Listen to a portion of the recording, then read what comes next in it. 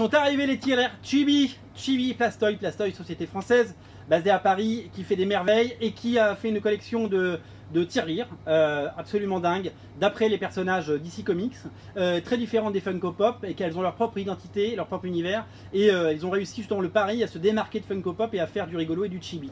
Les, on a Harley Quinn bien entendu en tête de file en tirelire, elle est super. Wonder Woman qui a cartonné 800 millions de dollars au box-office pour le film. On souhaite le même succès à la tirelire. Le Batman qui est complètement euh, dinguissime, que j'adore. Et bien entendu, le Fou Furieux, le Joker. Voilà les quatre. Les quatre, j'arrive pas à prendre les quatre. Oh là là, c'est compliqué. Les quatre tirelires sont disponibles sur Original Comics. Allez faire un, tour au rayon Toys. Euh, il y a vraiment beaucoup de choses et euh, vous pouvez vraiment vous faire plaisir puisque globalement ces produits sont vraiment recommandés par Original Comics et mes soins. Salut